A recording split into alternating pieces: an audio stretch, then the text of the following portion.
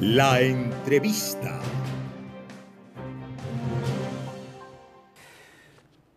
Nuestra querida colega Vanessa García de FM Center en Venezuela entrevistó a varios de los familiares eh, de los desaparecidos forzosamente y hay casos que a mí me han asombrado. No conocía porque es tan acentuado, tan sistemático y tiene tantas aristas el tema del atropello a los derechos humanos que a veces eh, uno pierde la cuenta y pierde sujeción de la gravedad del asunto en su justa dimensión. ¿no?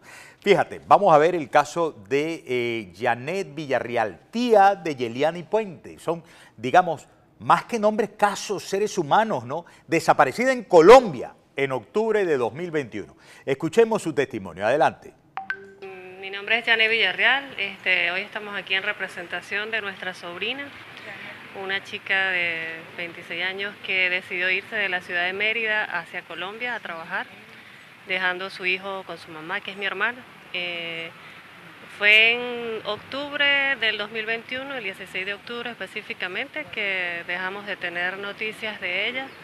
Eh, estaba trabajando, enviaba dinero a su hijo y, contacto bien hasta ese día que dejamos de tener contacto con ella.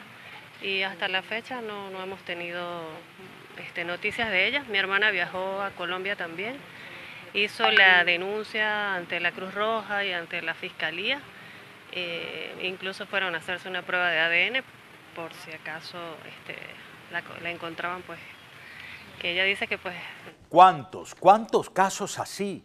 Saben, hay hasta canciones dedicadas a tiempos de dictadura y dónde están los desaparecidos, ¿no? Bueno, cada vez que los trae el pensamiento, dice una canción, ¿no? Porque los llevan sus familiares como un dolor muy dentro. Bueno, seguimos conversando, amigas y amigos, con Marta Tineo. Eh, coordinadora de Encuentro, Justicia y Perdón. Bien, te escucho con atención.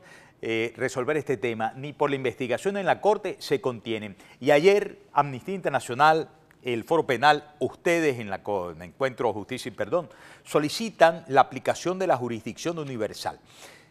Te escuchamos. Sí, Respecto a la Corte Penal Internacional, ciertamente es una grandísima contradicción, Miguel Ángel, porque hasta ahora, a lo largo de la denominada situación Venezuela 1, es decir, a lo largo del examen preliminar, que sabemos que duró poco más de tres años, y desde que el fiscal de la Corte anunció el inicio de la investigación, las autoridades del Estado venezolano han sostenido y han alegado ante esa instancia que en Venezuela no se han cometido crímenes de lesa humanidad, que en todo caso violaciones a los derechos humanos que están siendo investigadas debidamente y juzgadas conforme a derecho. Es decir, que eh, el, el, Estado venezolano a través de sus autoridades insisten en que acá no se han cometido crímenes de lesa humanidad y en tanto por eso sostienen que la investigación del fiscal no debe avanzar. Contradictoriamente se siguen sucediendo, como tú bien lo planteas, eh, crímenes de forma sistemática, crímenes contra los derechos humanos de forma sistemática y generalizada, que es lo que los puede llegar a constituir en crímenes de lesa humanidad.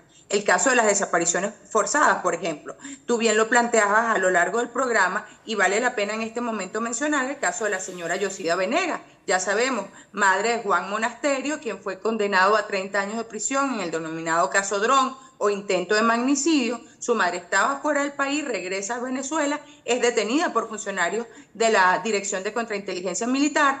Hubo unos cuantos días en los que no se sabía absolutamente el paradero de la señora y ahora se tiene información no precisa pero se tiene información de que ha sido presentado ante un tribunal contra el terrorismo y estaría siendo imputado por delitos de financiamiento y terrorismo y otras cosas más. Entonces, pues al final, lejos del mismo argumento sostenido por las autoridades venezolanas, se sigue lamentablemente ejecutando ese patrón sistemático y generalizado contra grupos de la sociedad civil. En este caso, el crimen de persecución. En el caso de la señora Yosida, vale la pena reforzar, esto es algo que ha sido suficientemente documentado por la Misión Internacional de Naciones Unidas, no lo está diciendo Marta Tineo, lo ha dicho la Misión Independiente de Naciones Unidas, que en Venezuela se ha ejecutado el denominado patrón de Sippenhaft, que es un patrón que se consumó contra los judíos en el holocausto, que no es otra cosa que extender la persecución contra familiares en la búsqueda de que los, los, que ellos consideran estarían involucrados en crímenes de traición a la patria o cualquier otro, pues den testimonio eh, admitan hechos o se entreguen en todo caso. Es decir, el patrón de CIPEFAN es simplemente extender la persecución y en tanto la supuesta responsabilidad penal en la comisión de un delito a familiares. Pareciera que es lo que está pasando, de hecho, con la señora. Marta, me queda, me queda apenas un minuto y quisieras tu explicación sobre esa petición de la activación de eh, la jurisdicción universal al concierto de naciones.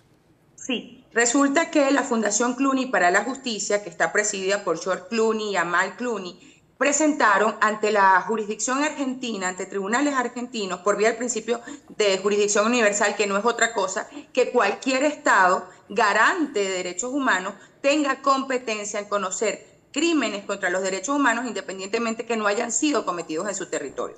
La Fundación Cluny para la Justicia presentó una, una querella por crímenes de lesa humanidad ocurridos en Venezuela en tribunales argentinos. La querella fue admitida y en tanto el llamado que hacía ayer Amnistía Internacional era un poco decir, bueno, sabemos de lo largo que puede ser el proceso ante la Corte Penal Internacional, pero aquí hay otra vía alterna a la justicia, que es la vía de la jurisdicción universal. Entonces el llamamiento era tanto para víctimas, organizaciones y defensores de derechos humanos a que consideraran también esa vía, que es activar jurisdicción universal en los estados que así lo reconocen, el caso de Argentina, y presentar demandas por la comisión de los crímenes de lesa humanidad que se hayan podido cometer en Venezuela, siendo que lamentablemente el sistema de justicia venezolano no solo no opera a favor de la justicia, sino que lamentablemente pareciera ser cómplice o copartícipe en la comisión de estos crímenes. Es, digamos, una vía alterna que se abre para las víctimas de presuntos crímenes contra los derechos humanos. Vamos a ver cómo fluye todo este proceso en manos de ustedes, en manos de Amnistía Internacional.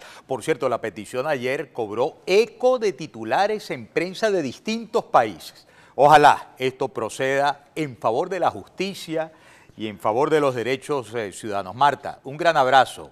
Gracias por haber estado con nosotros. Gracias a ti. Bien, Marta Tineo, coordinadora de Encuentro, Justicia y Perdón. La han escuchado ustedes, amigas y amigos, saquen sus propias conclusiones, paren la oreja, esto va corriendo y corriendo y corriendo y saben eso en Miraflores, por eso están, ustedes saben, con el rabo entre las piernas. Llegamos al final. Se nos acabó el tiempo. Si algo de lo que dijimos aquí, amigas y amigos, los alteró, los afectó, ya saben, Dios está con nosotros y por eso vamos a vencer. A pesar de los pesares, respiren profundo y... Oh, llegaron todos. Hasta mañana. Chao. Este programa fue presentado por Be Stress Free, Be Happy, Metropolitan Real Estate Solutions, tu mejor opción en Orlando.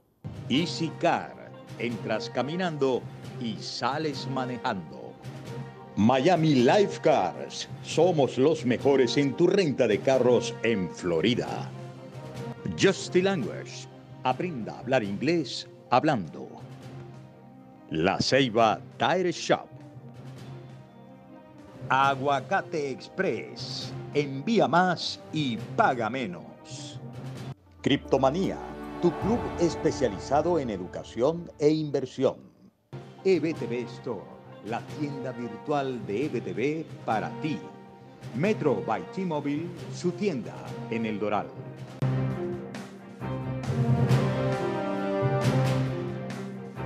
La entrevista.